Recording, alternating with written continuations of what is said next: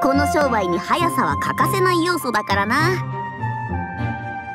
今回は回転サービスとして情報量はタダにしておくよ。そういうことならお言葉に甘えないとな。じゃあ早速クエストをやってみようか。うんありがとうアルゴさん。これくらいどうってことないって。情報提供はいつでも受け付けているから何か面白いことがあったら教えてくれよな。任せてください。